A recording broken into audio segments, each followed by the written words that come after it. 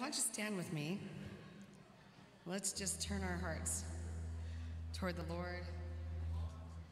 Hmm.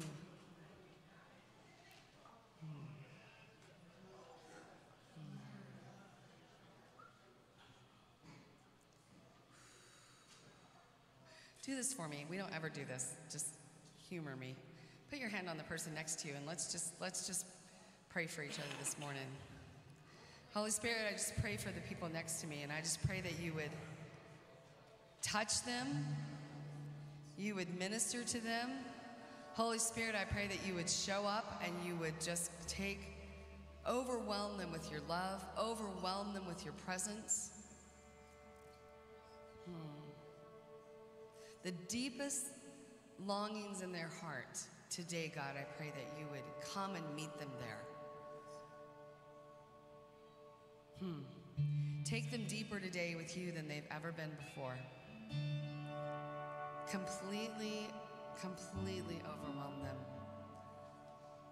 God, that today they would walk out of here with such an assurance of your love, with such an so hope filled. that they would just be so in love with you. They would just be an unquenchable fire as they leave this place today. And Lord, we come right now as a family. We come as your bride. We come as your bride to be with our groom. We come to tell you how much we adore you. We come to tell you how in love we are with you. We come right now to tell you that you mean everything to us. You're worthy of our praise. You're worthy of our adoration. And we just pour that out on you today, God. We pour that out on you today.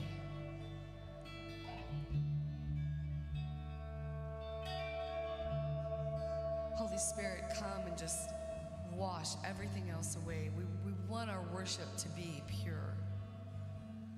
We want it to be a pure gift that we bring to you.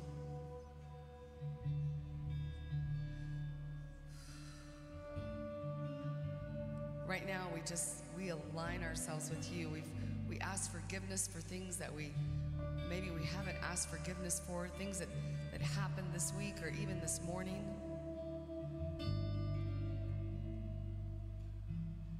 We just want to be washed completely clean right now. And we want to offer you a gift with clean hands and a pure heart.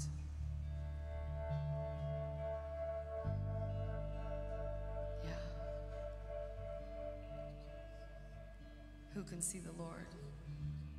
Those with clean hands and a pure heart. We long to see you today, God. We long to know you. We long to be with you.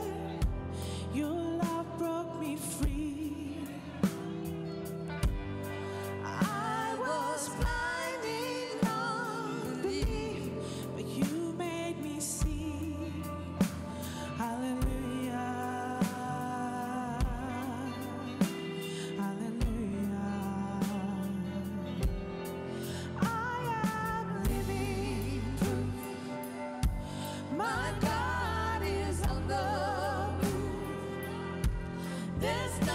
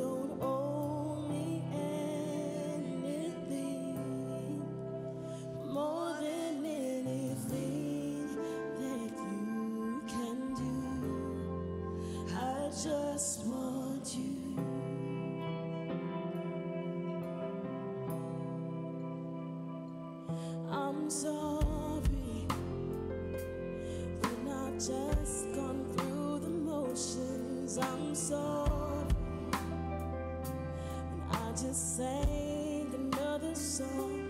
Take me back to where we started. I open up my heart to you.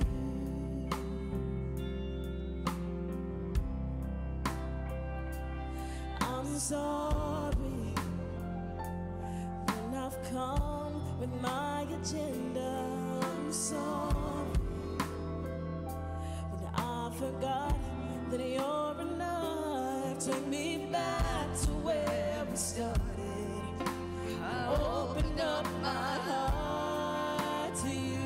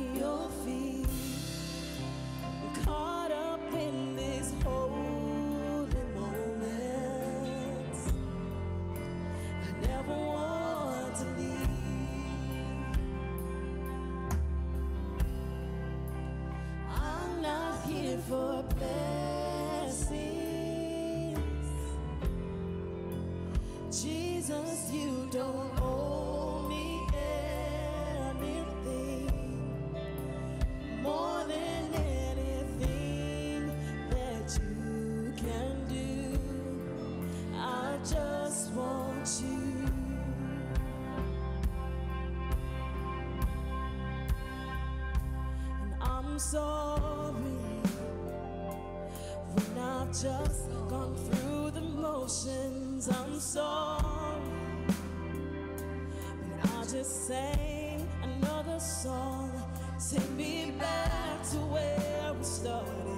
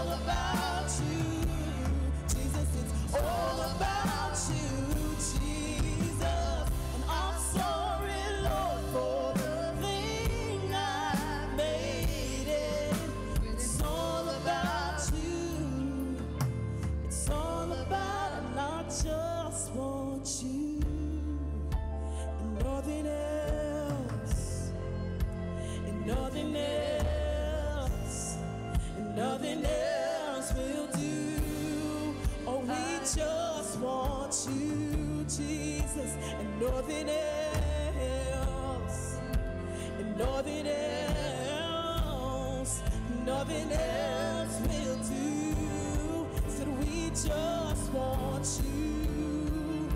With nothing else, with nothing else, nothing else.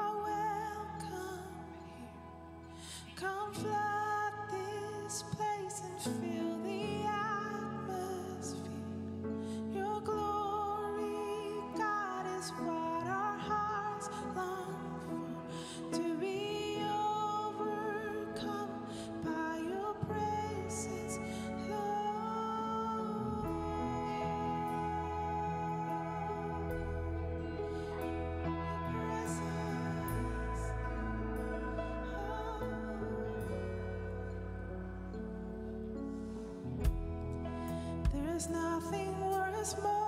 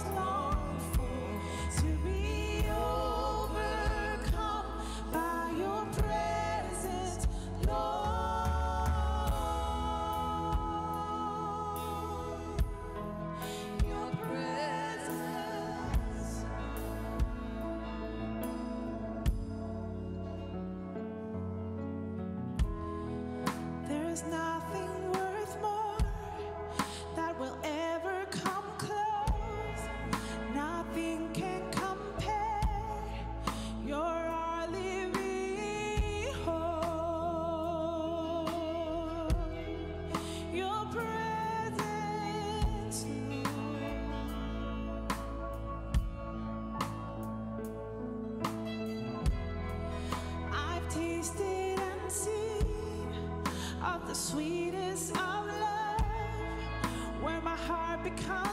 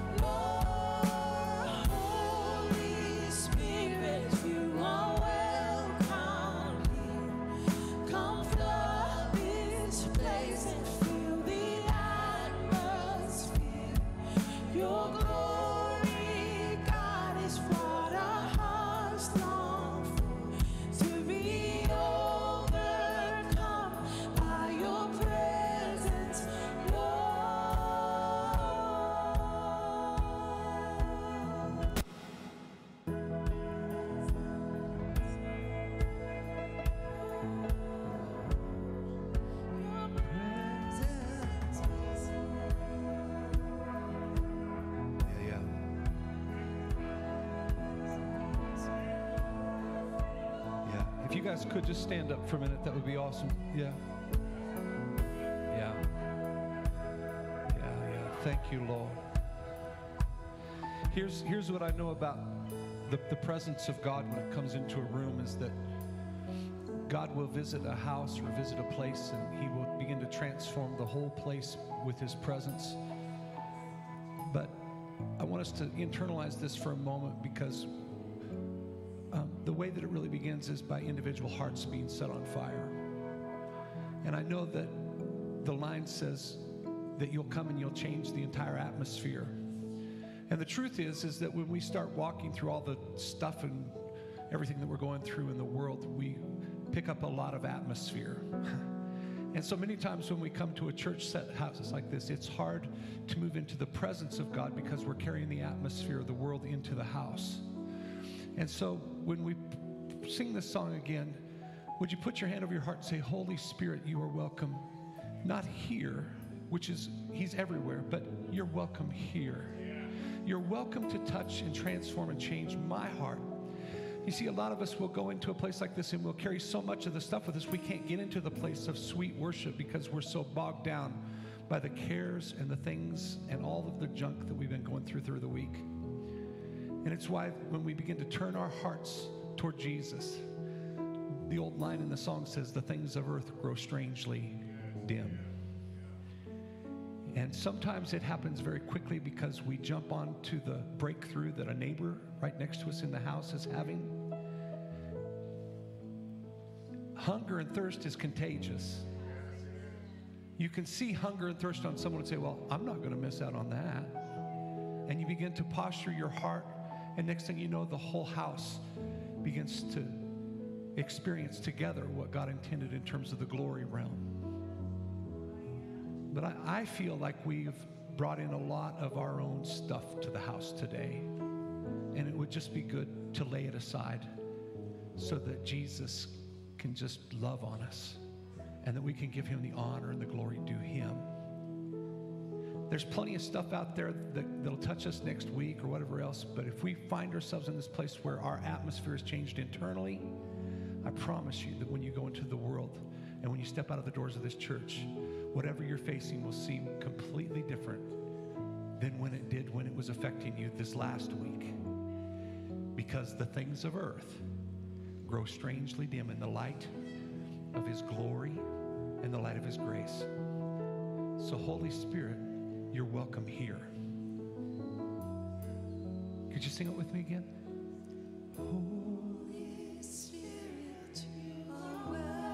Come on, welcome Him in. This place. Your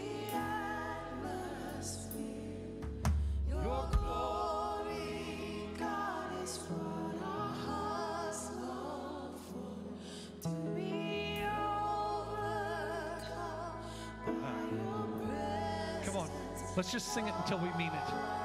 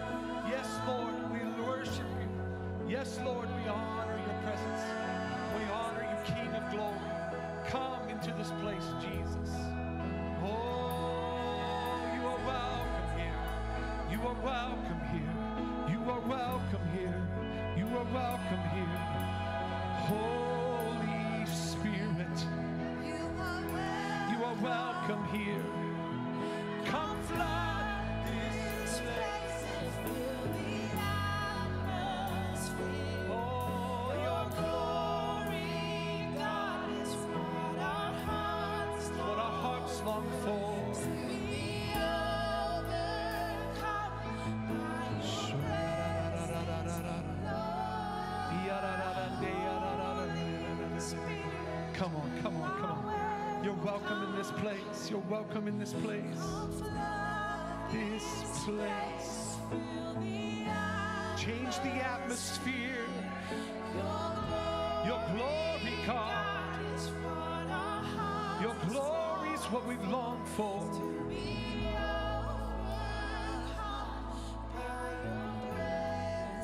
Oh, oh. Kylie, come up here and pray over our house.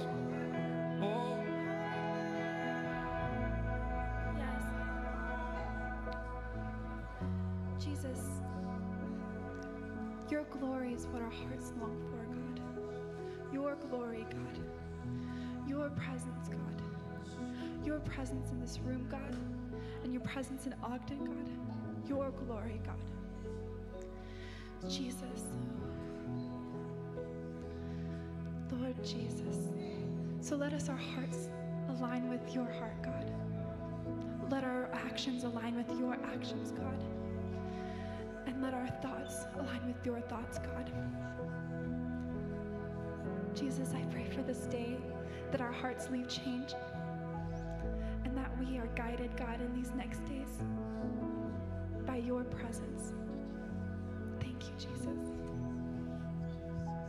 yeah, yeah, yeah. So we love you, Lord. We love you, Lord. We love you, Lord. Your presence is what we long for. It's in your presence, everything, everything changes. In your presence, everything comes into alignment in our hearts. Oh, Jesus. Today, do what you want to do in our hearts and lives. Yeah. Just, just pray with me. Just say this Jesus, today I'm listening to your voice. Huh. This is a good prayer. Today, I renounce every voice except yours. Yeah. Anything demonic, we break it off in Jesus' name. Only the voice of the Spirit. Yeah. Yeah. Amen. Amen. Bless you guys. Love on some people. We're going to come right back. So uh, we'll take a minute and transition into the message, but bless you guys.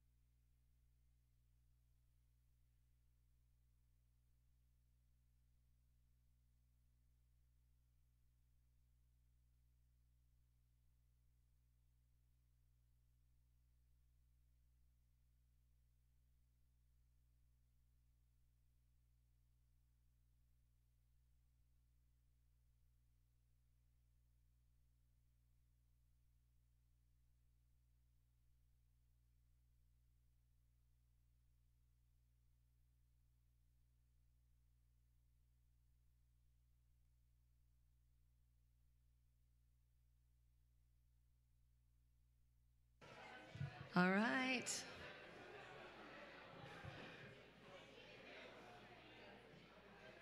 So good to be with you guys.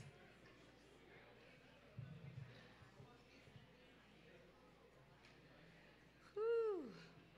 Yep. It's good to love on each other. Yeah. Let me just we just have just a couple of announcements, very short today, but um, April 23rd and 24th, that's a Saturday and a Sunday. We have Tim and Cindy McGill with us again. How many of you were here last time we had Tim and Cindy with us? They are so fun, so fun, and will just rock your world. And um, so Cindy will be doing a school on Saturday, and then um, they're they're both going to be with us Sunday morning at our normal time. So are we signing up for the school on her site? I think so. Yeah, she's, Yeah.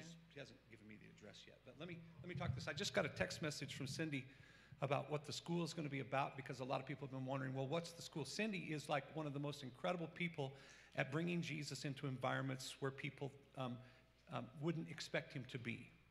Uh, one of the things that she's been doing for years is up at the Sundance Film Festival. They have a, a team that's been going up there for years doing dream interpretation. And, and guess who shows up? All of the Hollywood elite, and they get her cornered and they don't want to let her go because they have so much fun, you know, discovering that the heart of God is for them and toward them. She's also been doing things down at the porn convention in, in Las Vegas, which seems like a terrible place to be. Um, but that's where Jesus wants to show up to love on these girls. And it's just amazing. But here's what she wrote to me. She says, in, in regarding the school, consider your field, redefining who Jesus is to a world who don't know who he is. God hardened, godless, and God confused, giving language to avoid um, language landmines and religious arguments, dreams and interpretation of dreams, identi- identity recovery, helping people discover themselves and their purpose, using a menu board to create an effective outreach. Like, and that's what they do at the Burning Man. They'll create a menu menu board of things that you can come into their tent and receive. Like, I can't remember, like spiritual readings, soul cleansing, you know, kind of stuff in language that that seems um, totally accepting to even like the, all the New Age people. And then they come in and they encounter Jesus. It's not deceptive; it's wisdom. And so there you go. Word art or true reflections using a mirror to create God given images to people, overcoming brokenness and self hate. God's heart for those who are away from Him, and how to communicate with the LGBTQ communities and gender confused, counter woke cultures. How to create outreach teams in a new age pagan arenas, healing and miracles. The Holy Spirit created atmosphere or portal. God given authority and how He wants to use it, and to be aware of intercessors and prayer coverings. Um, deliverance and transformation, activation, impartation classes, all of it. It's going to be absolutely wonderful. Just your run of the mill conference. You know, just normal, should be normal things. Yeah, uh, we just we adore Tim and Cindy. They're they're just super good friends of ours. They pastored here in Utah for years, and um, come on, just come and get some skills. You know, we we all want to reach people, and sometimes we think like, well, I don't know how to do that. And the Holy Spirit can tell you, but honestly, sometimes it's great just to have your your ideas and the education you have so far taken out of the box because you're not going to run into everybody that's the same. You're going to run into people who have they have no grid for who Jesus is at all. I, I know we think that's hard to believe in America, but it's far more common than you think it is. You know, and they or they have all these ideas of, of new age ideas. They don't even know it's new age. They've just gathered stuff. But I'm going to tell you that everybody's a seeker. Everyone is a seeker. They just don't always know what they're seeking. But they're seeking Him. He is the desire of the nations. So come, I promise you, it'll challenge you. You'll have a blast. Make sure you're here. Set that weekend aside. It's going to be so amazing. So it's going to be really good. Um, one other thing um, this Tuesday night, the 22nd, uh, Monica is hosting a meeting for our preschool and nursery workers if you are interested in volunteering in those areas, you are so encouraged and welcome to come to that meeting. It's at 6:30. Are you doing it in the Connor room?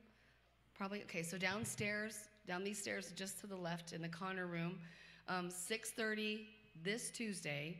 It's going to be great. We we actually do not have um, preschool and nursery this morning because we didn't have enough um, kids ministers to do it. So um, it's just vital all the way around. It's it's vital for for the kids. They need it. It's vital for the moms. It's vital, you know, for the church. It just benefits everyone. And so I always I always say, you know, our kids are our treasures. If if we if I trust you with my kids, I am trusting you with the most valuable thing God's given me. So it's really it's such a vital ministry. So if you'd like to be part of that, come Tuesday night. 6:30 you can kind of meet the team. They have a lot of fun together too. So come and meet the team hang out get an idea of, of what we do down there. We are very purposeful with what we do. It's not babysitting. We're not here to babysit your kids. We're here to teach. We're here to impart. We're here to train we have a friend that that um, uh, it was a girl actually that was here with us um, years and years ago when we first took this church, and she headed the nursery ministry at Bethel in Redding, and she used to call it training for reigning. You know, you train them up when they're young. When you're when you're a king or or when you're in line for a throne, you learn very young. They don't wait till you're 18 and go, oh, by the way, let me teach you how to be royalty. No, no, no, no, no. You learn from the time you're born, you learn what it's like to be royalty. And that's what we teach our kids. You are supernatural royalty. This is what that looks like. So it's just an amazing ministry. Please come and be part of that. Um, it, it, you'll, I promise you, you'll get as much out of it as the kids do because it's just it's really a blessing so that's going to be great if you want to give today most of you are familiar with how you can give with multiple ways you can text to give 84321 you can do an is it called an ach i never do this right. Ach you can do get on the website and give.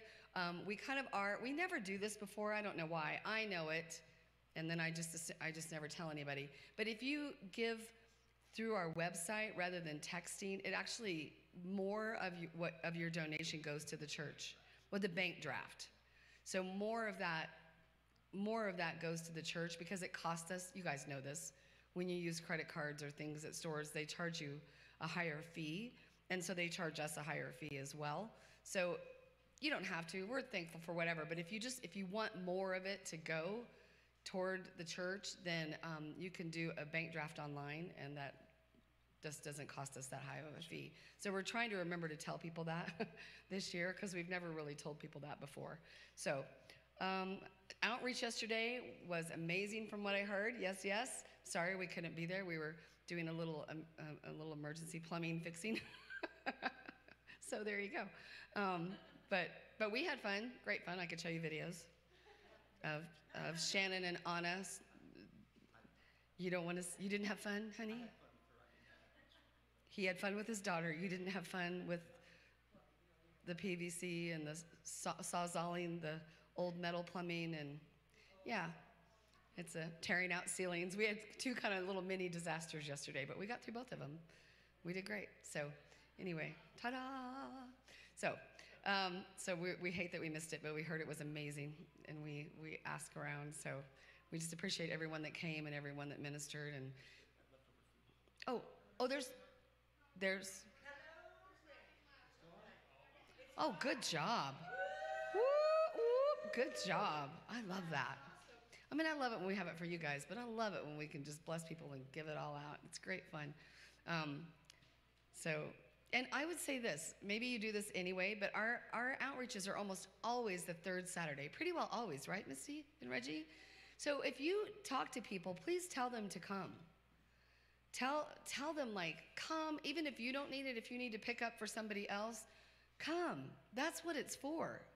So, you know, it's not just a like, there's no little circle here. This is, if you need it, come and get it. If you have a friend that needs it and they can't come, come for them. We don't put people through a third degree. We're just like, how many families are you picking up for? Okay, awesome. and we just load them down. So please, that's the whole point. We're, we're just a conduit. So we just want it to come in and go out.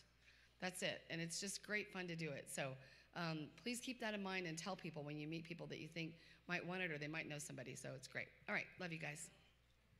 Yeah, that is amazing. I, I wouldn't ask you to pray for us as well. I was just talking to Alfred this weekend, and um, one of the things that we've been asking for is, is more food to have access to, to different um, places to distribute.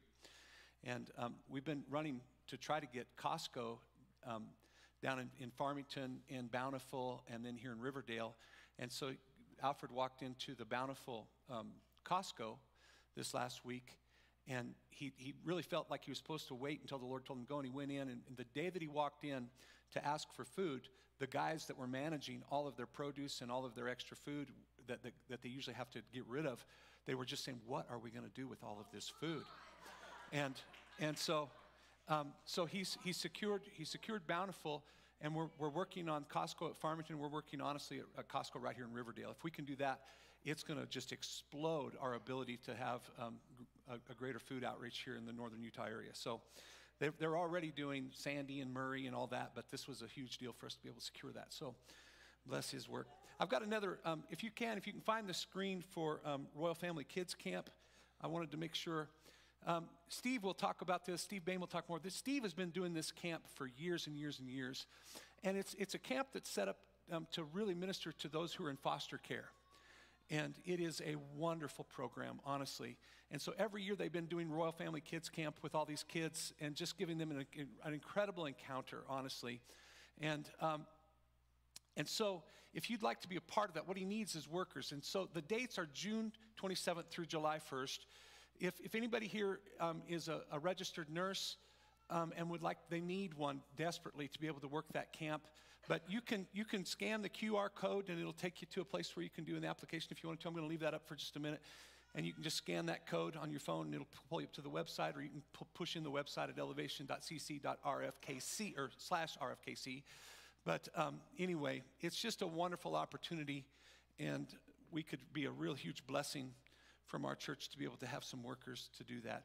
Um, you can be, I, I think, uh, a, a teenager but you'll be restricted in what you can do and, and all that. And so you could be a teen to a, an older teen, 14, 15, 16, to be able to do that. But um, the folks that are going to be full blown counselors will need to, to be um, an adult. So, anyway, it's going to be a great thing. I'm going to give Steve opportunity because he's been doing this camp for years next week and he'll talk about it. But for those who wanted to get an early jump on it and see what's going on, you can just scan the code. So that'd be great. All right, how's everybody doing? Good. It's so good to see you. Again, thank you guys with your outreach stuff. That was awesome. And um, um, it just amazes me how things come together to, to be able to do all that um, with the food that comes in. And, and uh, God's just really been good. We've been able to bless a tremendous amount of families through that outreach. So I'm really excited about it. Um, I'm going to jump into a, a, message today that the, the title of it um, is that it's time to speak up. It's time to speak up. And I, I wanted to talk with you about it because I, I really do believe that we're in a season right now where, where, where every other voice in the planet is raising their voice to declare who they think they are and what they believe and all that. Unfortunately, most of the voices that are coming out and being vocal and loud are taking us in a direction that we don't want to go.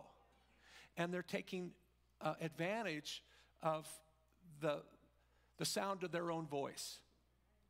And I'm finding out that, um, well, Lance Wallnau, I'll put it this way in a room full of questions, the people who have the answers will lead. Now, it works on both sides of the coin because most people don't really care where they're going, just somebody lead us there. And so it's really imperative that the right voice is being articulated into the airwaves. This thing uh, called the atmosphere that we're in is a really, really big deal because it's in this atmospheric level. The Bible would declare that this is the second heaven level. That's, that's where all of the, the demonic roars, and that's where humanity roars, and that's where, where um, secular humanism roars. But it's also the, the, the territory in which we should roar. And if we don't have our voice beginning to project out into this second heaven airways, then the voices that are becoming dominant will be able to be, begin to lead the way in what, what people believe and what people think and all of that. And so, um, man alive.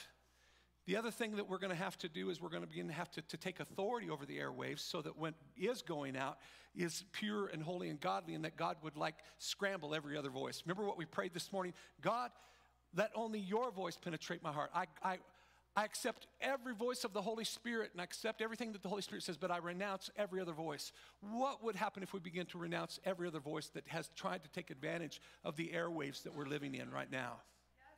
And so it's a big deal that we begin to pray and earnestly intercede for what is being heard. And because I'm telling you, if you're looking for your, for your truth from, from any kind of news media outlet, I got a sad story for you on that one. You can turn in anyone on any perspective that you want to hear, and, and none of them, I believe, are, are, are telling the truth. There's only one source of truth, and it comes from the word of the Lord, and it comes from the mouth of God. And so it's a real powerful time for you and I to begin to push into a, uh, to a place where we properly discern and understand what's going on. The gift of discernment right now is needed more than any other gift on the face of the planet right now because there is so much noise out there that is trying to compete with the voice of God. And if you are not paying attention, you'll believe the voices that are there. Remember, he comes as a deceptor and a deceiver. The Bible says that he is so deceptive that even the very elect could be deceived if it were possible. And, and it's not as long as we're tuned into the Holy Spirit, but if we put things on autopilot and we disengage and we just, I'm telling you, there's so much out there, you'll start be- believing the narrative. Once we believe in a narrative that's false, we'll empower that narrative, honestly. And so it's really, really important that we begin to begin to, to speak up and speak out. The other thing that I wanted to, to really push into today, probably, that was just a, an aside, really, mostly, but I wanted to push into the perspective that it's time to speak out about the goodness of God, the truth of God, the love of God, the gospel of Jesus Christ that can change every single person on the planet. I'm telling you, by the end of the service, we're going to give an opportunity for people who are here who need to know Him to come to know Him. But it will be because there's a clear demonstration and a clear presentation of the truth of God and the love of God manifested in His own story, the kingdom of God manifested through the life of Jesus Christ. And it's time for you and I to grab a hold of that message like never before and begin to declare it and decree it from the mountaintops and the rooftops and the, the malls and the, the elevator shafts that you're in with people. I mean, when you, when you got someone in an elevator, you've got a captive audience, for pity's sake. You know, I, I used to, to, to, to ski a lot when I was a kid, and I'd, I, would i would always ski in the single line, you know, for, for single lift rides because you just grab whoever's, you could go fast, number one. But secondly, I did it because every time I got on a ski chairlift, there was going to be somebody sitting by me that I didn't know. And guess what? We're headed up the hill. Where are you going? Well, I'm going to the top of the hill. No, where are you going? If today, if you fell off and died today, where are you going? You know, and, and you can call it corny if you will, but it's thought provoking and it brings people into a place to activate their faith and activate what's really going on inside of here. Well, you know what? I really don't know. Well, let me tell you, you've got five minutes before you get to the top. It's a quick presentation, but you can do it. Some of you can't. but you can. Yeah, yeah. We'll pray for the rest of you that are having difficulty synthesizing, you know. You all know what I'm talking about. Anyway, you're welcome. You're welcome. Yeah. Yeah. Yeah. If they're going to die, you better finish the presentation. This is the whole point. So, but it's time. It's time to begin to declare and decree the truth of God and the love of God and begin really caring about humanity enough to speak up. It's time to speak up. It's time to tell the story, His story. Right? Oh, man. Here's, here's the truth of it. Romans 1:16 says it out of the NIV, "For I am not ashamed of the gospel because it is the power of God that brings salvation to everyone who believes, first to the Jew, then to the Gentile." So this whole thing was wrapped up in the ministry of Jesus to bring the nation of Israel into an understanding of why he was there, why he came. But it wasn't exclusively for them, it was for the entire world. For God so loved the world that he gave his only begotten son that whosoever would believe in him would not perish but have everlasting life. Man, we see it in the end zones of almost every sporting event with a big John 3:16 card up there. How many people, you know, it is the most Googled thing in America, in, in around the nations because of these sporting events. What, wonder what John 3:16 says. I'm not ashamed. I'm not ashamed of the gospel because it's the power, the gospel is the power of God. The message of hope, the message of deliverance, the message of freedom, it comes because of His truth and His love. Yeah. In the Passion Translation, the same verse says this I refuse to be ashamed of the wonderful message of God's liberating power unleashed in us through Christ. For I am thrilled to preach that everyone who believes is saved. Isn't that good? Yeah. I, I don't know about you, but there have been different seasons in my life where it was easy to share my faith, and then there were other seasons where it was very, very difficult. I will tell you clearly the times when it was difficult to share faith was the times when I felt like my life was compromised. Because a compromised life will always feel like you don't have the right or the privilege or even the ability to share because you don't have, you lack the personal integrity to be able to share the message of the kingdom. Does that make sense to you? And so I, I would say that if we're going to have a message that begins to transform people's lives around us, and if it's time to speak up, the most valuable asset that you can have is a life that's personally been transformed already yourself. It, it, is, it is wonderful to come into a church environment like this where we feel the presence. Holy Spirit, you are welcome here. And you can feel there's a corporate level anointing, and it lifts burdens and it begins to transform and shake your world. But if you don't live that kind of life outside of the house, it doesn't take five milliseconds for it to come back on you to say, Who do you think? Because the enemy's voice is, as an accuser is always ready to pounce on your disobedience or to pounce on your failure, right? I mean, he's just like a, a ferocious you know, animal that wants to devour you. You know, that's his description. Like a ferocious animal seeking and desiring to devour each one of us. And his desire is to pounce on your integrity, to pounce on the, the, the, places of lack and brokenness. And he wants to convince you and tell you that how can you personally, how can you have a voice that activates faith in others when you haven't got it worked out yourself? Well, he's right, but it doesn't have to stay right. Because it's only one step back into the presence of God.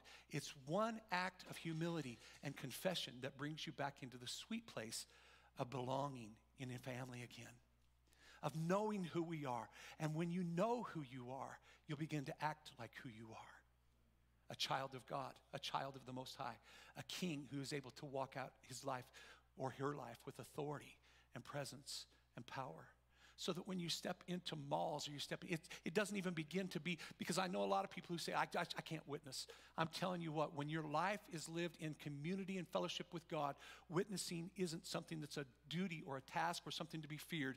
It's a lifestyle because you step into places and people just recognize the goodness of God in you and on you and around you. They can't help it. It's hard to compete with somebody who's happy. Look at the world. How many people do you see that are completely miserable? And when you get around somebody that's happy, it's absolutely 100% contagious. I'm telling you, one of the biggest reasons I came to, college, to, to, to Jesus Christ in college was from a girl named Kim Rutt. She was from Torrington, Wyoming. She had absolutely Jesus in her and on her every time I saw her. And when I was around her, and when anyone was around her, it was, like I said, infectious. They didn't want to leave her presence because of the presence of joy that she carried. And so the world is starving for something that looks that real. And they're start, but you know, for me, when I first saw it, I said, that has to be fake. Nobody can be that happy for that long. And so I just kept waiting for the shoe to drop. I kept waiting. Something's got to happen that's going to cause this woman to get. And, and she went through trials, she went through stuff. But even in the midst of hurt and trial and pain, it didn't overcome her joy that's internal because joy is an inside job, remember? Oh, man.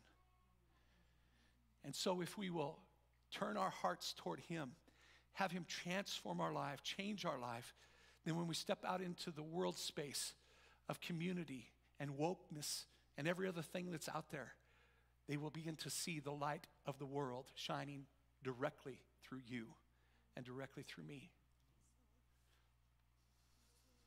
This whole thing is about Him.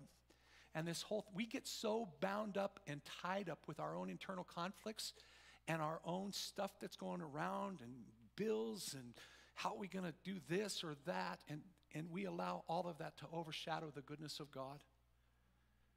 I'm not saying all of us. I'm saying I- I'm talking to myself. I've been in seasons where if it wasn't the personal humiliation that I was receiving because of my own lack or because of my own failure, it was the, the, the negativity that jumped on top of me through fear and depression because of the circumstances that surrounded me or that were on me.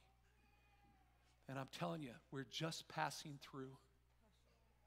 This whole thing is a life. It's a blip on the radar screen, you know, in terms of, and, and oh man. I was just telling Nancy yesterday that this whole thing of old age is just really stinky and it's just horrible. Not, not because of my own personal journey, which is true, but I'm talking, I was looking and thinking about the numbers of people that I've, I've watched and loved that they get to these, what should be the greatest years and best years of their entire life, and we see sickness and disease and all that begin to take it and rob us from it. And I'm just saying, while you're in great shape and while things are going really well for you, don't take advantage of the time because it's here and it just moves so incredibly quickly. Oh, man. If you've lost both your parents, you'll understand that. If you lost really dear loved ones, I'm, the last, you know, our, our, all of our nieces and nephews of my aunts, and all my aunts and uncles are gone. Not a single one of them. My dad, their whole 11 kids, and all of them gone. It's crazy.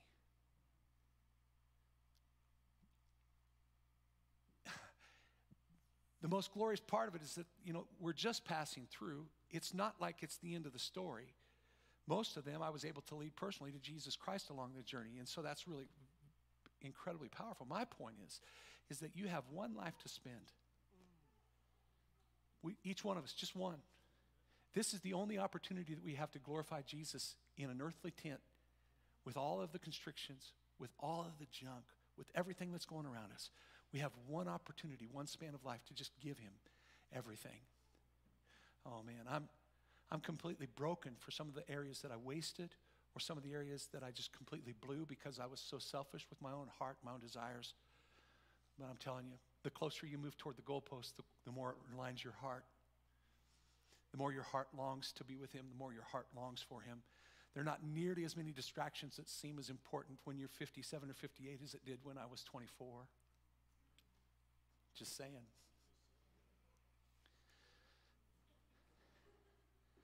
Yeah. For I refuse to be ashamed of the wonderful, the wonderful message of Jesus Christ and his liberating power to unleash in us through Christ. His wonderful power, look at that. His wonderful power is unleashed in us. It's like he takes us off the chain and says, Go get him. Just, just, just go get him. Everything you need, just, I'm, I'm taking you, uh, you're unleashed. Go, go, go. In, in the negative, I think of like a pit bull, you know, take him off the chain. What's he gonna, he's gonna do what he was bred to do. In the kingdom, when we take you off the chain, you get to do what you were created to do, and that's to evangelize the entire world. We've, we've been out of Proverbs 28, verse, I think it's 1. Um, we've been talking about this verse for quite a while, but it, I want to speak at it one more time just to illustrate the, the need for us to live lives that are whole, lives that are not compromised. It says, The wicked, when the wicked flee when no man pursues them, but the uncompromisingly righteous are as bold as a lion. The wicked flee when no one pursues them. What does it mean? Like paranoia.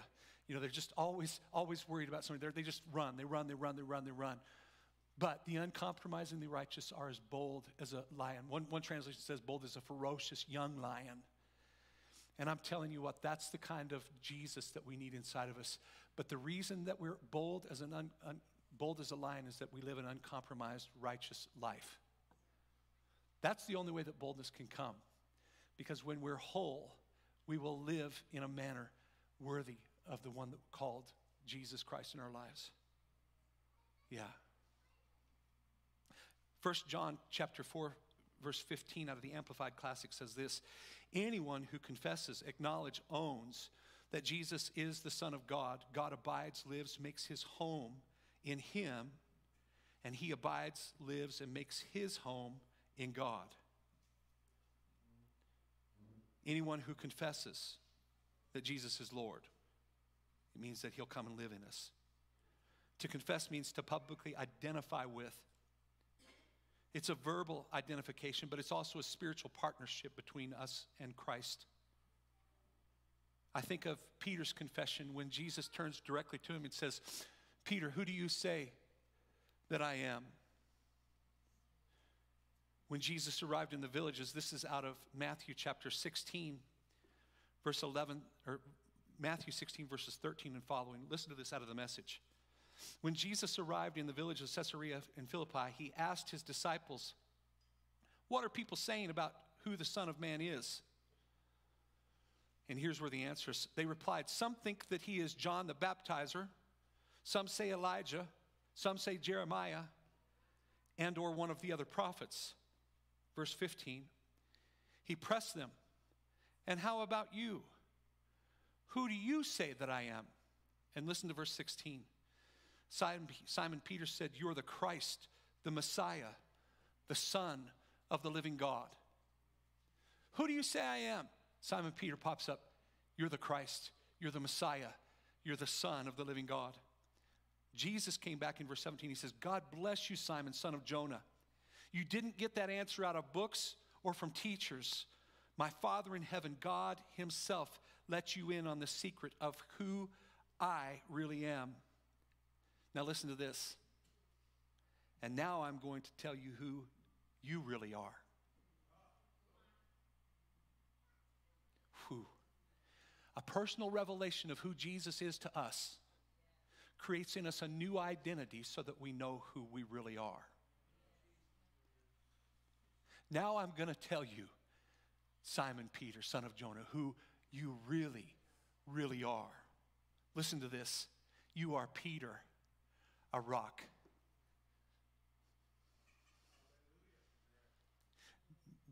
Jesus himself is described as Petra, the big rock. But he says, You are Petros, a smaller rock. It's like you're a chip off the old block, is what I'm telling you. Who I am, you are. You are Peter, a rock. This is the rock on which I will put together my church. A church so expansive with energy that not even the gates of hell will be able to keep it out. Now, listen to this. I love Eugene Peterson's message. And that's not all. You will have complete and free access to God's kingdom, keys to open up any and every door. Are you listening? This is who we become when we become a born again believer.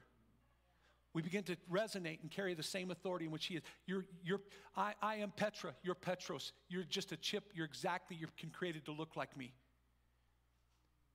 You will have complete and free access. Everybody say free access. Free access. To what? God's kingdom. You'll be given keys to open any and every door. No more barriers between heaven and earth, earth and heaven. A yes on earth is a yes in heaven. A no on earth is a no in heaven. Other translations, it says it'll give you the power and the ability to bind up and to loose. Whatever you bind on earth will be bound in heaven. Whatever you loose from heaven will be loosed to the earth. But in every and all authority now has been given to you. Jesus himself, he says before he goes, he says, All authority on heaven and earth has been given to me. Therefore, because I have authority, he, he, he makes the implication clear you have authority. All authority has been given to me. Therefore, go and make disciples of all nations, baptizing them in the name of the Father and of the Son and of the Holy Spirit. And he says, I'll be with you always, even to the very end of the age. This is the kind of kingdom that we were birthed into and, and born into when we said yes. I love what Simon Peter goes through. You didn't hear that from any teacher. You didn't hear it and read it from any book. Only the Father Himself revealed to you that I am the Messiah, the Son of God. Now that you know who I am, let me tell you who you are, who you really, really are. If you've been struggling with an identity issue in Christ and understanding of, of who you really are, then you need to pay a real close attention to this. Because Simon Peter was just a person just like you and I. He went through all the kinds of difficulties that you and I go through. He struggled with impetuousness. He struggled with all of the, the issues that wanted to easily beset his life. And yet, here he is. You're a rock.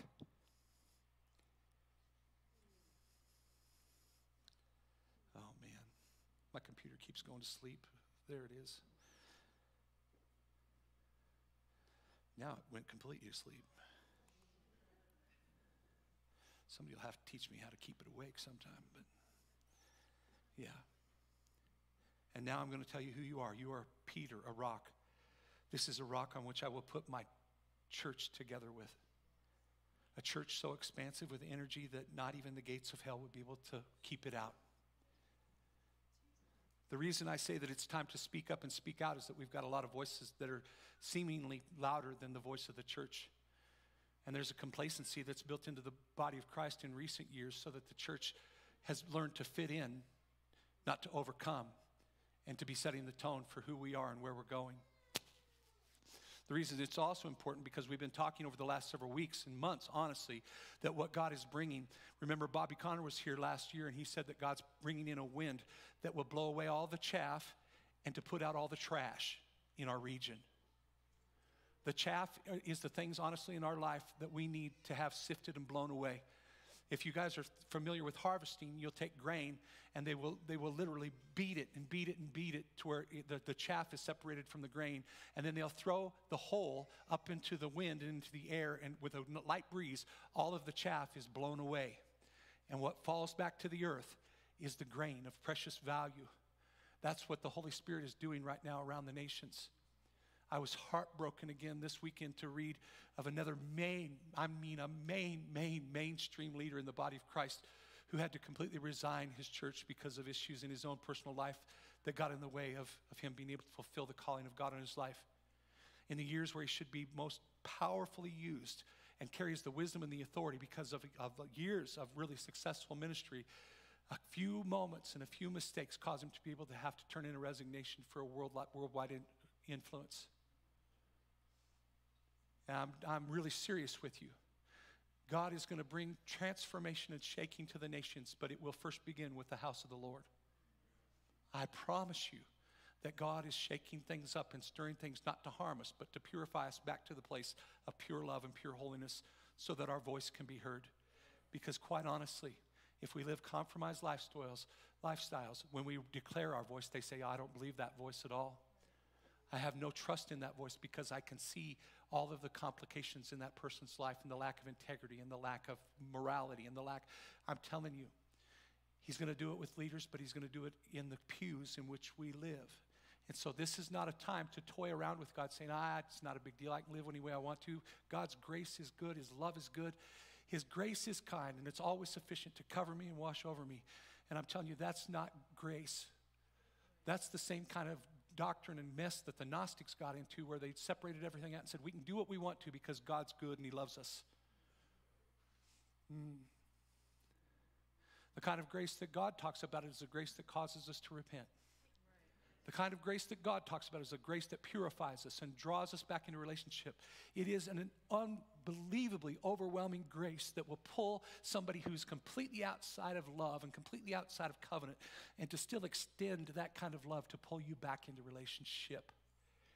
The grace of God was intended to pull you out of the world and into the kingdom.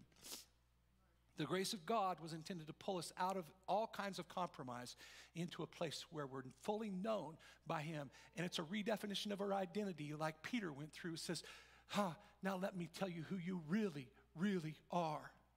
And the voice of the Father begins to resonate and burn deep inside of you, realigning your purpose and your value because you begin to understand no, I'm not that person. That's the activity that I've been into, but it's not who I was created to be. And I won't continue to walk in that kind of nonsense any longer. I won't continue to walk in a lifestyle because the uncompromisingly bold, righteous are as bold as a lion. And I've determined in my heart, I've determined in my mind who I will serve. Choose this day who you will serve, the Lord, the Lord of the Lord says. And this is the season, it's the time. God is shaking the nations of the earth. He's shaking us. For those that don't believe that there's a judgment of heaven upon the earth, look around. Oh, God wouldn't do that. He doesn't have to. We created our own mess and we suffer the consequences of the actions of our, of our abandonment of the kingdom of God in the nations. Whenever the, whenever the righteous rule, the people rejoice. How many righteous do we have ruling in the nations? That's why we're under judgment, is we've laid down the ability for us to have a powerful voice because we've just abdicated our responsibility to say, let it fall on somebody else's watch. It's time to speak up. It's time to begin to declare and decree that this planet is worth saving. Let's don't de- develop a defeatist mentality where we just bury our head in the sand and say, Jesus is coming, Jesus is coming, Jesus is coming. And meanwhile, we let all of the world go to hell in a handbasket because we refuse to raise our voice except to say, I'm just going to hold on till Jesus comes. I'm just gonna, I'm just gonna wait. I'm just gonna wait. Wait and watch, wait and watch. How about wait, watch, and pray? How about wait, watch, and declare? How about standing out on the street corners and begin to declare the truth of God in the streets? Truth has fallen in the streets, is waiting for someone to come and declare the goodness of God. Because you've been given a kingdom that's of, of, of just indispensable value. You've been given authority to be able to declare and decree and to watch atmospheres shake and devils run. Come on. It's time. It's time that we begin to take up who He really is in us and for us to know who we really are. If you're struggling with identity, it's time to get over it. It's just, it's just time. It's nonsense because you've been given the words of life and the truth of the kingdom that transforms everything. It's just time to make a shift internally to begin to believe who He says you are and begin walking it out daily in your life. I am, I am a child of the King. So don't, here's what Timothy says. So don't be embarrassed to speak up for our master or for me, his prisoner. Take that to heart. All over the world, there are people who are dying and literally going into prisons and being beaten for the cause of Jesus Christ right now. Martyrs who are suffering for the namesake of Jesus Christ. We have, I can't even talk to you because it's online. Just let me say, in a certain part of the world, there are people that we know that we've personally ministered to who got brutally beaten last, last week. Four pastors got brutally beaten because they refused to be silent. So don't be embarrassed to speak up about the master or be embarrassed for me, his prisoner. Take your share of the suffering for the message along with the rest of us. Whew. Why should we be any different than them? Why should our message of faith or the message of hope result in something? Because we've made it so tepid that nobody's challenged by the voice that we declare. We don't upset devils or we don't upset politicians. We don't upset ruled leaders because we just say, oh, I won't want to do that. I don't want to be controversial. Why? The whole, the whole thing. He came not to bring peace, but to bring a sword, to bring a dividing rod. Now, I'm not talking about a sword of violence, the sword of truth, the word of God that will divide and separate out the holy from the unholy. It's time. It's time to speak up. I, I, this, this conflict that's happening in, in, in Ukraine, I, I can't even tell you how much I applaud people who don't even know Jesus, who are standing in the, they're standing in their, in their city courts and in the cities of Russia, and they're beginning to declare, this is wrong. It's wrong. And immediately they get cuffed and they taken to jail. They say, worth it. Worth it. If you think that that kind of thing can't happen in the United States, you're wrong. I'm telling you, we're this close away from losing all the freedoms that we've so viciously fought for and so fer- ferociously begin to defend the truth that's in this nation. Wokeness won't fix this world, but an awakening will.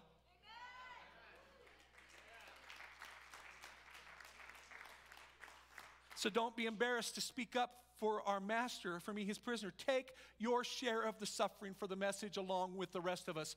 We can only keep on going after all by the power of God who first saved us and then called us to his holy work. We had nothing to do with it. It was all his idea.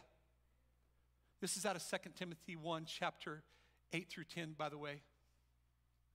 We had nothing to do about it. It was all his idea, a gift prepared for us in Jesus long before we knew anybody knew anything about it. But we know it now. And since the appearance of our Savior, nothing could be plainer. Death defeated, life vindicated in a steady blaze of light all through the work of Jesus. Let me read that again. But we know about it now. Since the appearance of our Savior, nothing could be plainer. Death was defeated, life was vindicated in a steady blaze of light, all through the work of Jesus Christ. This is the message that I've been set apart to proclaim as a preacher, an emissary, and a teacher. It's also the cause of all this trouble that I'm in. But I have no regrets. I couldn't be more sure of my ground. The one I've trusted in can take care of what He's trusted me to do right to the very end. Do you get that? This message that I've been set apart to proclaim as a preacher and emissary teacher, it also is the cause of all this trouble that I'm in. I remember when the early church were thrown into prison and they were thrown in, you know. Remember that thing that got us into all that trouble? One of them says, they said, Yep. Lord, we ask that you bring more. All the signs, wonders, and miracles that caused them to be isolated, that caused them to be beaten. Lord, all that stuff that got us into all that trouble, Lord, would you bring more of that same stuff? Because it's the only thing that changes the world. This is the message I've been set apart to proclaim as a preacher, an emissary a teacher. It is also the cause of all the trouble I'm in, but I have no regrets. Come on. Could somebody just say, Can I live my life in such a manner that when I close my eyes at the end of this age and I enter into heaven, I can look back and say, No regrets? That doesn't mean you didn't have problems or issues. It means that you reconciled all of those differences and all of that white noise that's been troubling you, and you've put it under the blood of Christ so that the one who started a good work in you is faithful to bring it to a completion. You say, I, am not going to allow my past to define me. I'm not going to allow my past to rule over me. I'm not going to allow my past failures to say who I am because once it's under the blood, it's under the blood and it's forgiven. Remember? We just did this last week. But the blood of Christ purifies us, cleanses us, makes us righteous, and makes us holy so that we're fit for the work of the King.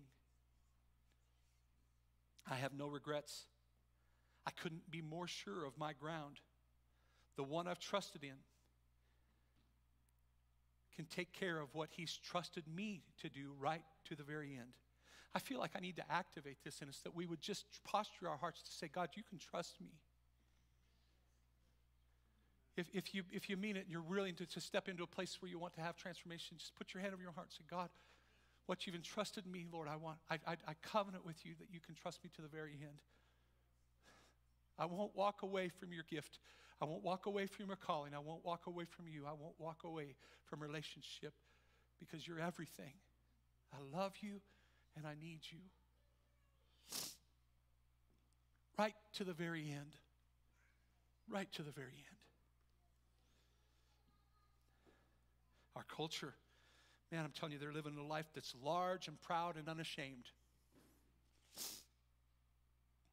I, I can't even believe some of the things that I'm seeing right now with, you know, and, and remember, we're not talking about people, but we're talking about the silliness of secular humanism and how far it'll take us.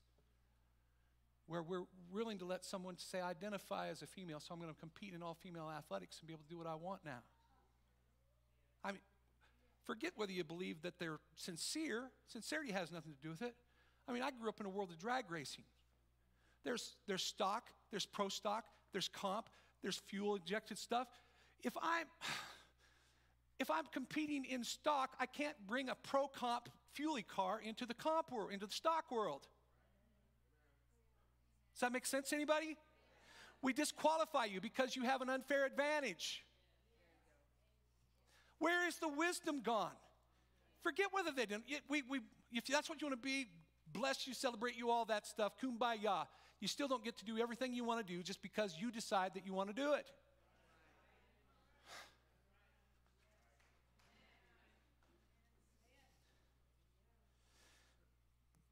Cindy McGill come in and straighten me out on all this next week or whenever she comes. Yeah, she does. She posts. Yeah. You, we just affirm them in their madness and affirm them in their sickness when they allow them to do this stuff. That's why we have to have a voice. We sit back and we say, Well, I don't want to create any ruckel. They'll think that I'm a, a, a hater. They'll think I'm one of these people who, you know, is a, is a homophobe or this kind of thing and that kind of thing. And I'm telling you, no. Somebody needs to stand up and say, Wrong is wrong.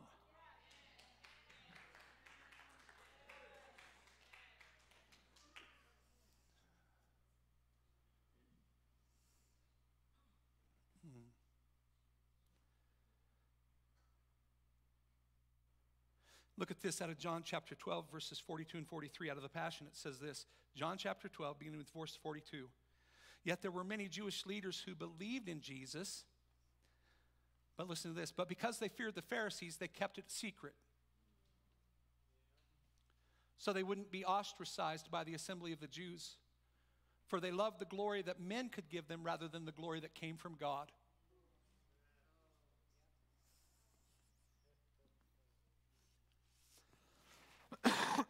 Excuse me. For they loved the glory that men could give them rather than the glory that came from God. Oh man, this is the big deal right now why so many ministries in the nations right now are being sifted because they've bought into that false belief of adulation that comes from the, the voice of other men. And you, oh.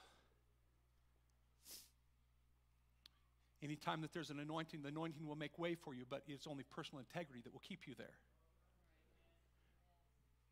And when your gifting is larger than your foundation of personal integrity, you're in a head on collision with failure and, and, calamity, honestly. Nancy and I have been talking about this because it's easy as pastors to be the voice, the one that people hear, the one that's up front, the one, that, and I'm telling you what, it's that vital vital that anybody that's leading have people around them that can see into their lives and to be able to comment and bring commentary into their lives. It's absolutely essential that you have people around you who can speak truth into you and tell you, hey, I don't know what's going on, but something's going on. I don't know what it is, but let's talk. And that you develop relationships with people where you give people permission to be editors in your life. People who are not trying to, to find fault in you so that they can ruin you, but people who want to edit you to make you better. Does that make sense? It's absolutely vital for you to have those people in your life because you can isolate yourselves into places where you get to do what you want and you think that nobody knows what you're doing. But the longer that you do things in secret, the more that they'll become public. Because the Bible is absolutely true. You can be sure that your sins will what? Find you out. Oh. They didn't want to be ostracized by the assembly of the Jews, for they loved the glory of men that was given to them rather than the glory that came from God. They knew Jesus, but they feared the Pharisees. What does it look like for us to know Jesus, but to fear all of these other pluralistic voices that are around us telling us to shut up and sit down and be quiet? Oh, don't say anything. You can't, you can't be able to comment to that because people will think you're a hater. I'm telling you, you can bring truth in love, but it still needs to be presented. Truth still must be presented because if we don't, we become complicit in the sentence of death that's going to lay upon their heads when the, when the reaper comes, when judgment comes. That's the other thing that we need to begin declaring and decreeing in the streets. Hell is a real place, and the consignment of those who don't love God is a real thing. It's real. I've heard it spoken over and over again. How could I trust a God or love a God that would consign people to hell? Because He's a God of love, but He's also a God of justice. And because everything in life and creation has been given for everyone in humanity to have a choice and a place to come into the knowledge of the goodness of God. Romans chapter 1 says it this way that everyone has been given the nature and the goodness of God and the message of God through even creation that's been created. All of creation, it says, testifies. Everything, you can't, seriously. People who have a brain. You look at this miracle of the planet Earth and everything that happens. You look at the miracle of a little baby that's being born. You look at the miracle of a calf dropping out on the ground, and you say, that all happened by happenstance or chance, by some primordial ooze that crawled up off of the bank of the water and began to develop legs? Come on, give me a break. Everything in this world is a testimony giving glory to the creator who formed it and made it. It says that the Bible declares this that all of creation is crying out, looking for the sons of daughter to come and testify about who he really is. That's why your voice must be heard because you know you've been given the truth. Now begin to testify about his goodness, testify about his love, so that all creation, it says, is without excuse. How can, how can God consign? It's again, it's not the heart of God. For God so loved the world that he gave his only son that who would ever believe in him would not perish, but have everlasting life. It looks to me that's a pretty inclusive plan. He loved the whole world so that nobody would perish. Anybody who perishes refused and rejected the message of hope that would bring them life. God's not consigning anyone. We willingly, through our own rebellion and disobedience, say, Forget you, God. And we do our own thing. And we shake our fist at God, or we get hurt, we get wounded, we get offended at God because one of our loved ones died, and we prayed a prayer and it didn't happen, not realizing that life is a blip. We're only here for a moment, eternity is forever. It's time. It's time to wake up. It's time to declare, it's time to decree. Because the blood of those who will perish could possibly be on your hands and mine if we stood in the place where we could have provided the hope and we chose not to because we were more concerned about the voice of the Pharisees than the voice of God.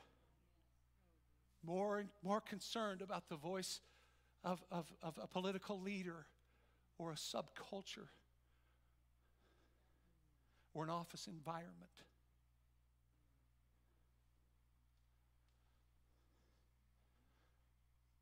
We're, we're, we're going to stand. We're going to stand accountable for every missed opportunity. He'll have, there'll be blood on our hands. Oh, Jesus, help us.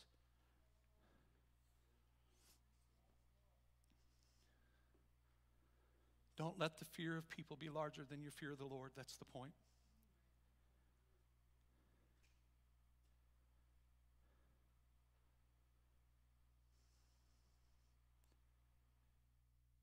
We need to be those who are confessing Christians.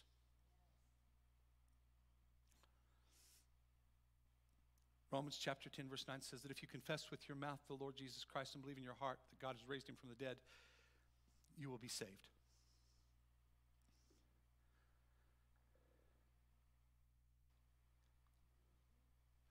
Matthew chapter 10, verse 32 and 33 says, Therefore, everyone who acknowledges me before men and confesses me out of a state of oneness with me, I will also acknowledge him before my Father who is in heaven and confess that I am abiding in him. But whoever denies me and disowns me before men, I will also deny and disown him before the Father who is in heaven. Romans 14, verses 8 and 9 out of the NIV. If we live, we live to the Lord, and if we die, we die to the Lord. So then, whether we live or die, we belong to the Lord. For Christ died and lived again for this very purpose, that he might be the Lord of both the dead and the living. And then finally, the truth of the matter is, is that we will confess him whether we want to or not. There's coming a day either voluntarily or by compulsion, that we will confess that He is Lord of Lords. For Philippians 2, chapter 10, verse 11, 10, chapter 2, verse 10 and 11 says that at the same, at the name of Jesus, every knee will bow in heaven and on earth and under the earth, and every tongue acknowledge that Jesus Christ is the Lord. To God be the Father.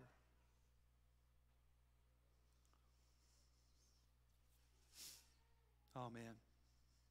I'd, I'd much rather be on the proactive side of seeing lives change than to be on the back end of wondering how I'm going to make it at the end. You know?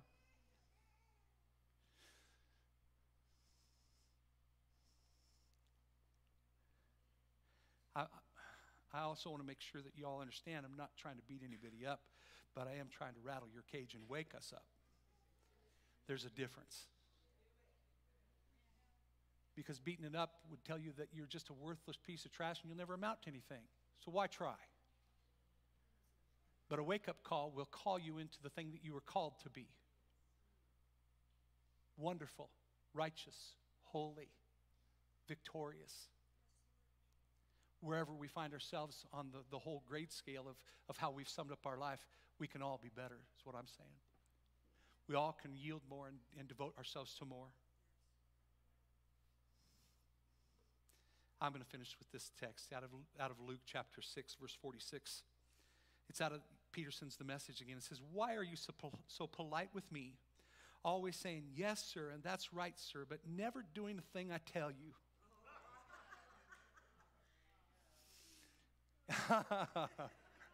Why are you always so polite? You, have, you know what I'm talking about? Where, where you just get into the religiosity thing and, oh, how you doing? I'm doing great. Thank you, thank you, thank you, thank you, thank you. Yeah, bless you. And, and here's what he's saying Why are you so polite with me? Always saying, Yes, sir, that's right, sir, but never doing the thing I tell you. These words I speak to you are not just mere additions to your life, homeowner improvements to your standard of living. They are foundation words, words to build your life upon. We're not just trying to remodel some back bedroom. You know, not just trying to have a little fixer upper so that we can bring people over and see the, the grand entrance. We went into a hotel like this in Ukraine when we were there. Oh man, you walked through the front doors and it looked like you were in the Taj Mahal. It looked like a five star place. It looked absolutely. Do you remember this, Linda? It, it, was, it was crazy beautiful. And then you ride the elevator up and you open up the doors and it was post war Europe or pre war Europe and post war Europe all through it together. It, had, it hadn't been touched in probably 80 years. Yeah. And, and you open up the door and you look at what's going on. The wallpaper, I promise, was there in the 1920s. Yeah. It was 20s era wallpaper. Nothing had been touched. The beds were so incredibly gross. We've laid out all of our dirty clothes that we had with us on the bed and slept on top of our dirty clothes because there was no way we were going to touch those things on that bed. The shower. You turn the water on the shower and nothing but pure rust comes out, which isn't the end of the world. But then you know that there's people above you because the showers are stacked one upon the other and the floors are rotted out and now the rust from the previous floor is coming down on top of you through the, all the junk of the rafters and it was rough and i fear that many times we have entrances that we put out as a public facade for people that look like that taj mahal experience but then when we ride the elevator and the doors open the real truth is revealed about what's really going on underneath the covers, if you know what I'm saying. Now, we're not, Paul was saying this. He says, we're not just trying to remodel little entryways so that you can look good. We're trying to get to the very foundation so that you can build your life on a foundation that looks like the entryway. So that the whole that you're building looks like what you're trying to present as the thing that's great and wonderful. We have a real problem in America where we'll begin to segment our lives off into categories and we want to present our very that's why social media is so deceptive because people can present everything on social media. Everybody looks good on a date.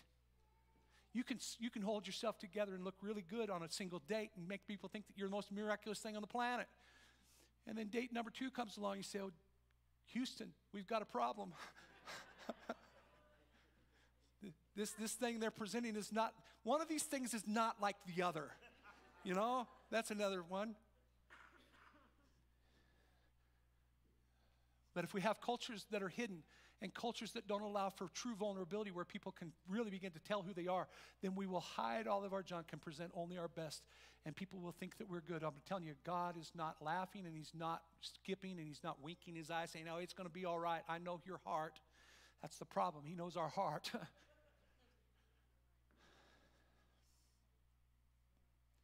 For out of the abundance of the heart, the mouth will speak. That's one of the things that happens. I'm just saying.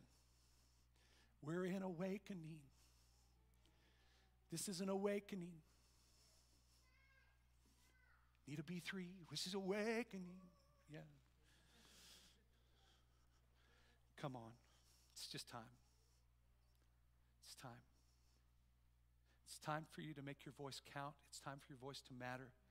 It's time for when things begin to stir up by the voice of the Spirit inside of you, and you say, Well, I better not say anything. It'll just get me in trouble. I'm, mean, there's some wisdom in some of that. I will say that. but most people will hide the fear inside of them and call it wisdom. Oh, I can't say anything. Might get me fired. That or a promotion. One or the other. At least you've been true to yourself. I'm not saying that you say things to be mean. I'm just saying that sometimes you need to speak out regardless of what the consequences look like and trust that God will take care of you. Could it be that hiding in the place of silence and hiding in the place of fear is the thing that's kept you out of your promotion? Because I can't stir the boat, can't rock, can't stir the boat. I'm mixing my metaphors. I do that all the time. Can't stir the boat. No, I can't rock the boat.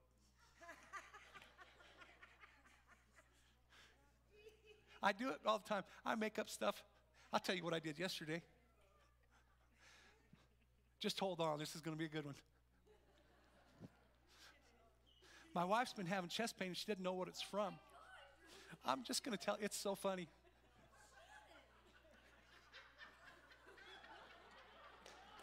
I'll stop there. I'm not going to tell you now. I can't.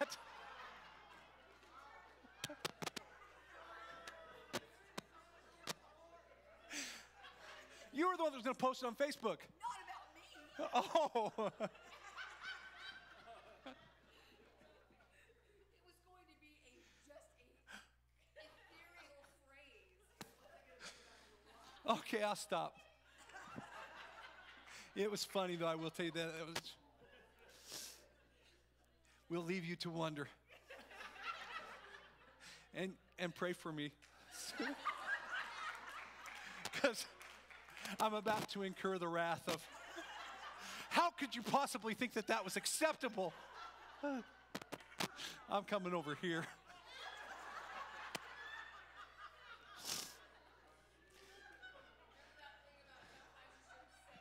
Yeah, I think you shouldn't say everything that comes up on the screen.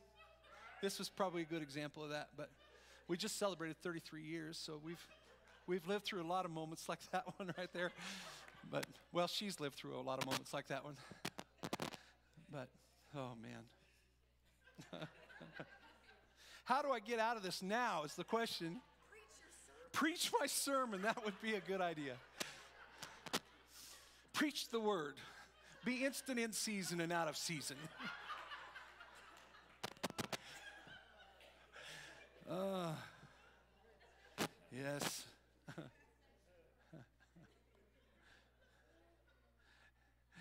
it's what happens when you mixing metaphors. That's how this got started. Yeah. It's like you, you can't stir the boat, you know. Yeah. You, you take things out of context, it'll all get like, like the, the, the, the message that says, you know, and Judas went out and hanged himself, and then you pull something obscurely out of the text someplace else. Go and do thou likewise, you know. You know, it, I'm still experiencing it right now. Jesus, help me.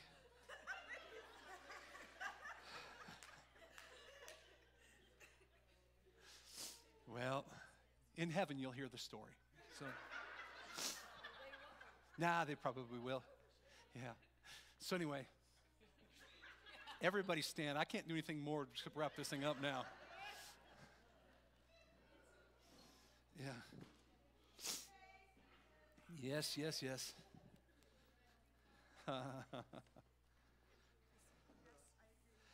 Laughter does do good like a medicine. Yeah.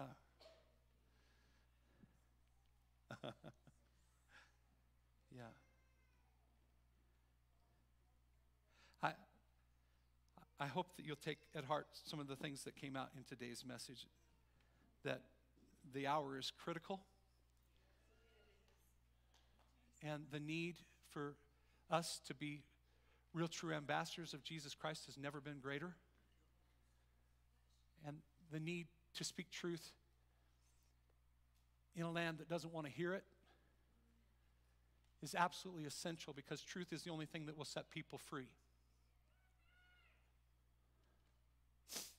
Bobby says this it says, if you go into the doctor and you've got problem with your liver and he says there's something wrong with your arm, you better get a different doctor.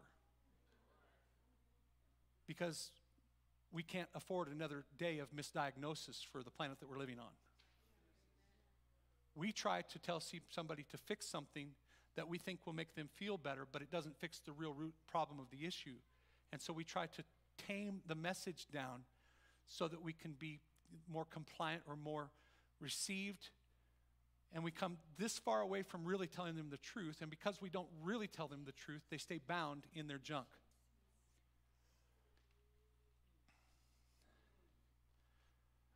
I'm saying that there is a world that don't want to hear what we have to say, but that doesn't mean that we should silence our voice just because they don't want to hear it. Because the more we silence our voice, the more louder their voice will become. They are going to do their very best to define what the world that they live in looks like, and they want a world that looks like them. And it's time for you and I to begin to just, in love, but with real conviction and passion and mercy, begin to bring a clarion call that brings people back to the hope of glory, Jesus Christ Himself. There's some right now in this room who your life's been conflicted and you've been trying to figure out, you've been like a ping pong ball bouncing around from ideology to ideology to ideology, religious view to religious view, and you're saying, I've tried this, I've tried that, I don't even know. I don't even know what's right now, but I'm telling you, in the preaching of the word today, you heard a message that's true. And the reason you know it's true is because your heart began to come alive under the preaching of the word. The Spirit of God is bringing revelation and it's bringing a conviction of your heart that you've never even felt before. And you say, oh man, there's something different about that voice. There's something different about that word and that message. And it's because it's full of truth and it's full of hope and it's full of glory. And so, if you've been ping pong balling around trying to figure out what's right, what's true, I promise you that the word that Jesus Christ Himself brings about who He is is 100% true. And what He did to Peter, He'll do to you. When you acknowledge who He is, and when you say, Jesus, you are the Son of God, the Messiah, the one who brings life, He'll turn right back around to you and says, Okay, John, okay, Bill, okay, Nancy, let me tell you who you are, really, who you really are. And he'll, he'll in a moment put identity back into your heart so that you know, you know, I'm born again. You'll know I'm safe. You'll know you're forgiven. You'll know that you're redeemed. Man, who wouldn't want that? Who wouldn't want to be able to settle the issue of where I'm going at the end of this world? Who wouldn't want to settle the issue of knowing that your sins have been completely forgiven because of your right alignment with the King? And so, if that's you and you need to know Him, and you're the one who's been ping ponging, and we're, we're the one that's been questioning all of this stuff, and you want to know Him in this way, you can come forward right now and you can have your whole identity rewired in Jesus Christ. And He too will call you a rock, a chip off the old block. Do you want Him? Do you long for that kind of transformation? Come and get Him right now. Don't don't even hesitate on what it might look like to others because every single one of us that have come to Jesus have walked down a similar path to get there. Every one of us have had to confess with our mouth that He is the Son of God, the Lord. And every single one of us have had to say yes to Him. And it's not a walk of shame or humiliation, it's a walk of victory and hope.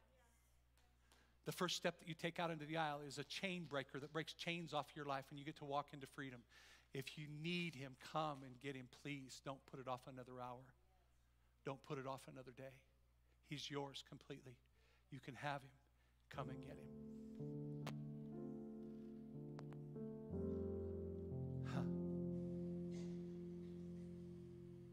Want to sing that song, Holy Spirit, you're welcome here.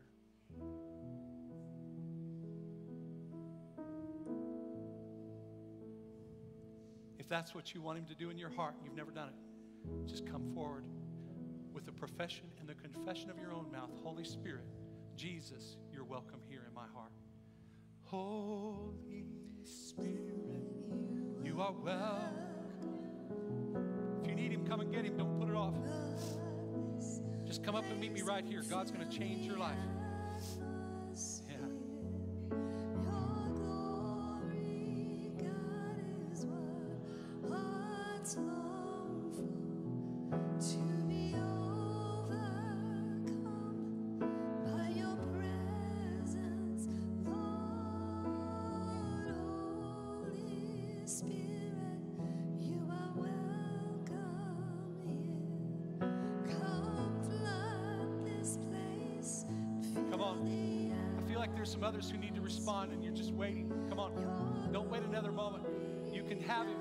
Today and now. Just come and get him. Come on. That's so good. Come on. To be overcome by your presence, Lord. Thanks for coming. Oh, isn't that amazing? Come on, there's others I know. Come on. Your presence.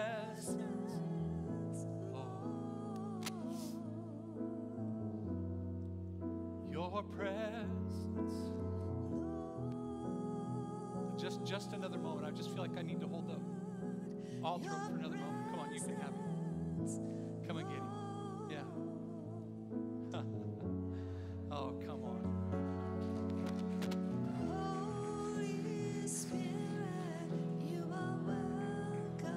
Anybody else? Anybody else?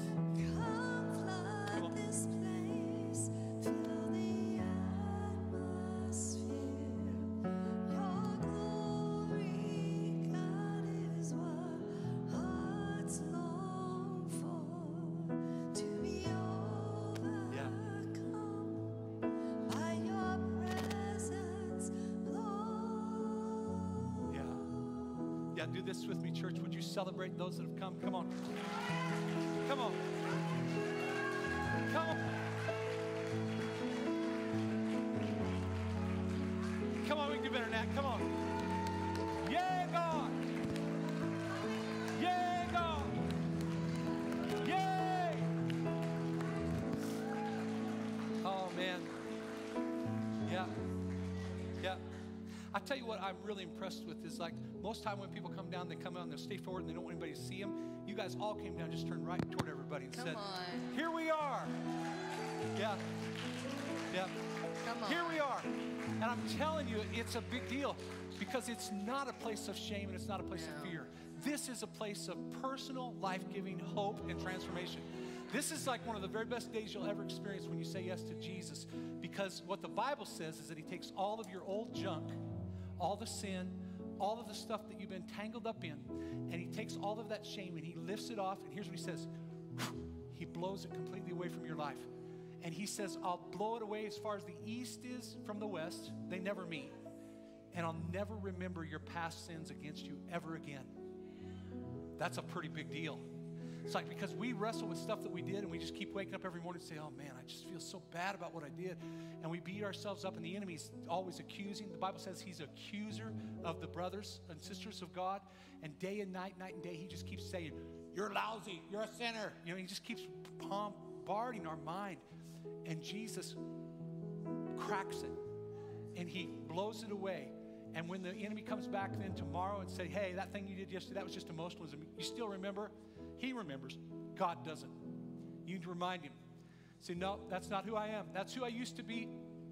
I have a memory of it, but the memory has no pain in me any longer because he's forgiven me, he's liberated me, and he has set me free. I can't be held accountable for something that Jesus forgave me for. Right, come on. I can't pay a sentence and do the crime, do the time for the crime when Jesus already did the time. Right, come on. He already paid the price. He died on a cross so that we could have complete, total 100% forgiveness. So that when the enemy comes, he stands up like a big, tall lawyer and stands between us and says, Nope, nope, he's acquitted. There's no, there's no thing that can be held against him any longer. I paid the price. He's completely free. The debt was paid in full. That's what he says. Pretty, pr- pretty miraculous and fantastic, honestly.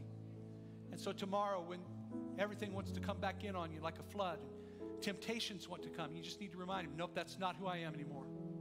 Doesn't mean you'll never have a problem, you'll never fall, you'll never do anything. No, you probably will and you can, but here's what it means.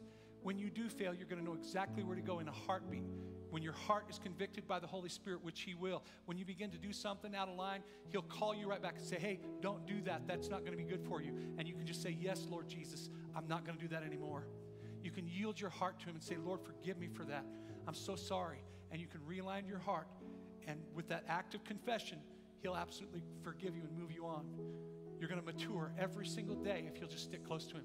Every day is going to look better and better and better. Doesn't mean it's going to be full of like daisies and roses with no problems in your life. You're going to still have problems. You're just going to be like that girl like Joy, uh, Kim Rutt, who has so much joy in you that's like you, you laugh at your circumstance. Internal joy takes over all of the outward stuff that you're going through.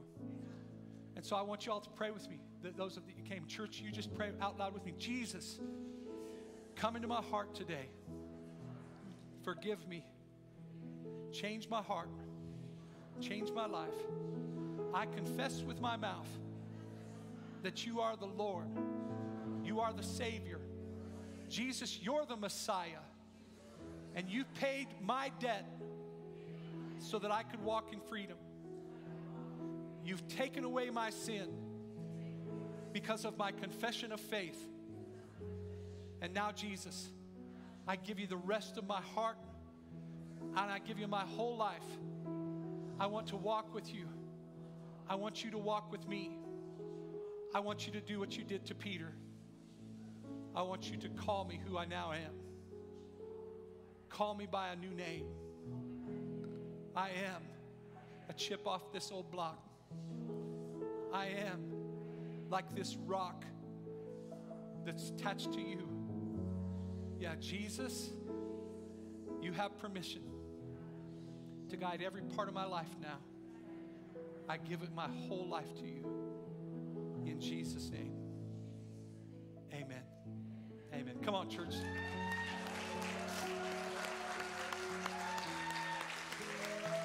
Yeah. I love that baby. Yeah. Here's, he's saying, What's going on? yeah. Here's, here's what I want to challenge you with now. If you guys will just stick with me for just another moment longer. Because here's, here's what I know about Christianity it's, it's never been best lived alone, it's never been really powerful or real authoritative, authority driven in your life when you're trying to live it out in a context of not having community with other people in the body of Christ. I, I mean, I, I did this my first several months of Christ. I got saved, but I still wanted to keep one foot in the world and one foot, you know, in the kingdom. And so I, I said, me and Jesus, we got our own thing going. And so I'd go try to live like the rest of the world was doing, but Jesus was inside of me. And so what was happening is I was completely miserable because Jesus was in me. And so when the change happened is when I began to make community with other brothers and sisters in Christ and said, I'm in. Some of that meant that I had to say goodbye to some relationships that were destructive in my life. I'm telling you, anybody that's going to pull you away from hope, pull you away from truth, and drag you into something that's ugly and looks like sin and is sin, you can't afford to have those people in your life. It doesn't mean you don't love them, it just means you're going to have to distance yourself from them for a season so that they don't have more influence on you than you do on them. Does that make sense? And so I'm telling you, you may have to rearrange some of your relationships. If some of these people may be real close family members, it doesn't mean you don't love them. You're going to be kind, you're going to be polite, but you're not going to run with them and make them to be the, the most powerful thing in your life. You're going to let Jesus author new relationships in your life that will pull you into love. You know, we're, we're not trying to, to, to, to run your life, honestly, but we want you to succeed in your new life with God. We want you to be around people who will encourage you and strengthen you and lift you up. That's it. Who, when you're going through problems, you can say, Hey, I really need some help. I'm going through a difficult time. And they'll get down in the trench with you and love you and pray with you and help you walk through difficulties together. And so, um, there's a lot of those people right behind me in this room. There's a ton of people who can help you. If you're looking for someone to pour into your life and someone to be like a father or a mother spiritually to you, you can ask the Lord, Who is that supposed to be? And then go ask them and say, Would you help me? Pretty good chance they will. I'd say it's more than a high likelihood if the Lord tells you who it is. Say, Lord, I need help on this new journey. Would you show me who I'm supposed to connect to? And then just go ask them, Hey, I just got saved a couple weeks ago at church or whenever, and I need help with my new walk with God. Would you help me do that? Here's my phone number. Would you call me or can I call you? Come on. Does that make sense? Yeah, don't walk out of this place feeling alone, is what I'm saying. You have family. These people behind me are some of the greatest people on the planet, and they'll love you to the end of the earth and back. And they'll accept you. And even when you fail, they won't put a, a sign over your head. They'll say, Come on, let's just do this over. You get to do it over. Jesus loves you, He forgives you. Then they'll ask the question, Are you done? Done. Yeah, I'm done. Okay, then let's just pick up the pieces and move on. Okay? Okay, all right. We love you. Um, Philip, would you do me a favor and grab some, some visitor cards and just take these folks into the next room and just have them, I'll fill out one for me because I want to make sure that I get the names of everybody that came forward today. Would that be all right? If you guys would just follow Philip, that would be great. Yeah, thank you so much. Yeah. Yeah, um, Michael, would you make sure that there's some visitor cards there for Philip or one of our elders? Grab some of those cards. I want to make sure that that happens pretty quickly. I don't want to have them held up. All right. So, for the rest of us, it's time. It's time to speak up. That was the whole message title. Time to speak up. And so we bless you as you leave this place. Um, we love you. Home groups will meet this Thursday. We'll be back Sunday. But God bless you guys so much. We love you so much. Have a great day. Amen.